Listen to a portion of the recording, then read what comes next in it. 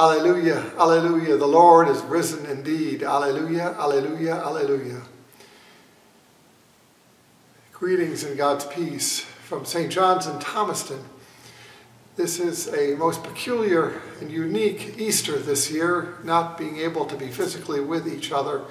It is a great sorrow for me not to be able to be with you, but it is a great blessing to find ways, new ways to communicate with each other. We have been deeply, deeply blessed in so many ways, and during this time we are being blessed in ways that I don't always understand, but I do know that God's grace is sufficient, is wonderful, and is blessing us in ways that are new every morning. May this Easter be one that is enriching to you, whether you be alone or whether you be with a few family members, that the power of God's grace may find ways to touch you and break through into a deeper way that we may know the love of God. This is the day that the Lord has made. It has opened for us ways that we never would have dreamed possible, nor might we ever tried.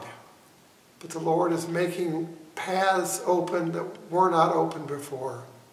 God is stilling our hearts and bringing us to a place that is in a unique position to hear God's word. Let us not miss it.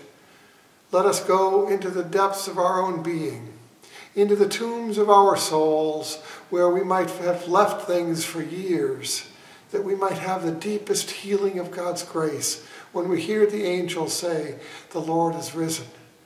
Go tell all of your life, all of your world, that the power of God is at work, that the healing grace of God is ready to be alive in you. This is the day that the Lord has made. This is an opportunity that we, sh we should not miss. This is a, a grace and a potential of wonder.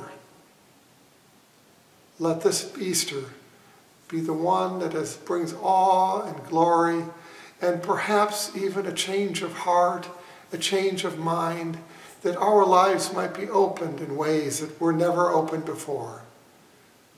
Alleluia, alleluia. The Lord is risen indeed. Alleluia, alleluia, alleluia. Thank you.